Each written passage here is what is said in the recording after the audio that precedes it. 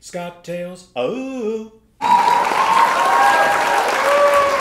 Thank you. Thank you, everybody, and welcome to another edition of Scott Tales. My name is Scott Hostetler.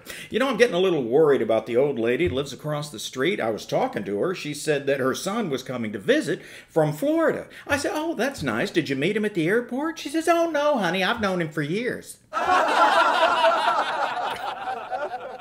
So you think that's bad parenting? A uh, little kid busts into his parents' room in the middle of the night. He says, Daddy, Daddy, there's a monster in my closet. And the dad says, Yeah, I know. Why do you think I got this room? Anyway, what they all need, what they all have in common is they need a chocolate martini just like you and this guy. Okay, we're going to today we're going to use Rompope Coronado, the cappuccino and the vanilla. Now they are liqueurs that come from Mexico and they're kind of like Irish creams. They're uh, 20 proof, so they're very low alcohol. And uh, in fact, Rompope is a derivation of the word eggnog. It's where it came from. Uh, they were crafted in the 1500s by Franciscan monks, and they are here today for us to enjoy. Now, how we're going to do this is we're going to take our martini glass for the chocolate martini, and we're going to take a leading chocolate syrup, and we're going to drizzle it in. Drizzle like this and make kind of a decoration. Woo!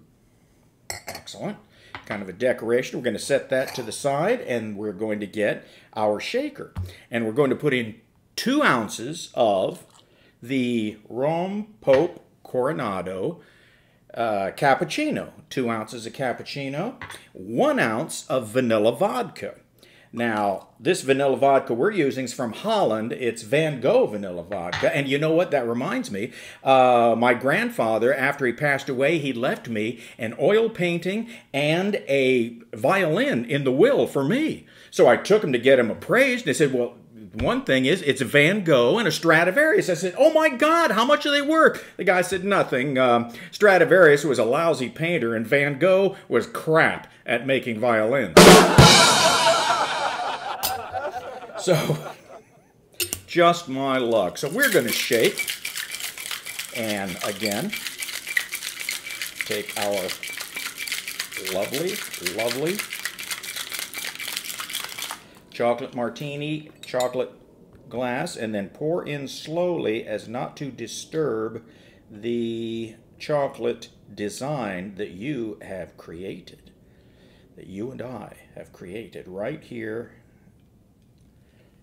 on the beach. Lovely. Then we're going to top it off with some chocolate shavings. Wow. And that is just to make it even more decadent. Should we give this a try? Yes! Oh boy. The um, uh, chocolate, coffee, very creamy.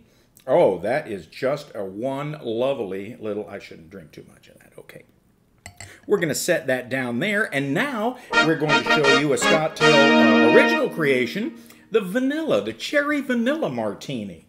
Now to do that, we're going to take our glass, and we're going to take Luxardo cherry syrup, and we're going to do the same thing with the glass, and try to make a little bit of a design.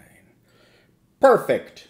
And set that over there. Then we take our uh, shaker and we add two ounces of vanilla Rompope Coronado, two ounces. This is uh, the vanilla. It's very much like eggnog. It gets very, very nice. And then one more of ounce of the vanilla vodka, the Van Gogh vanilla vodka. You want another Van Gogh joke? No! Yeah, I think you can take it. Okay. Uh, Van Gogh brings a wrapped gift to his girlfriend. She says, Oh, Vincent, I hope it's not another ear. He said, What? God, you're a funny guy. Then we're going to put in a scoop of vanilla ice cream because life can't get better. There's a little bit of ice in there, and then we're going to shake that vigorously. Ready?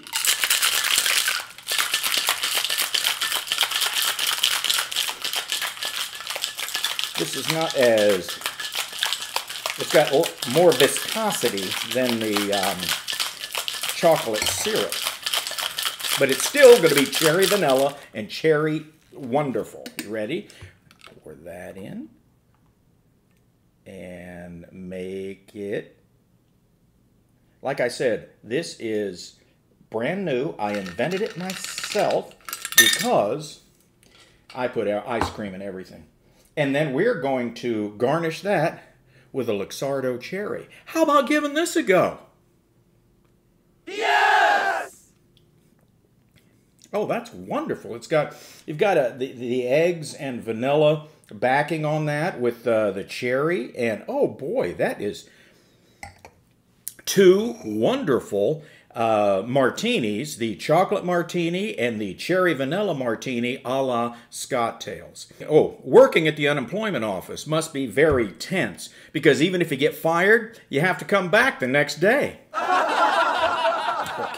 No, you, th- you don't think these jokes are funny, but you're going to be telling them at work tomorrow.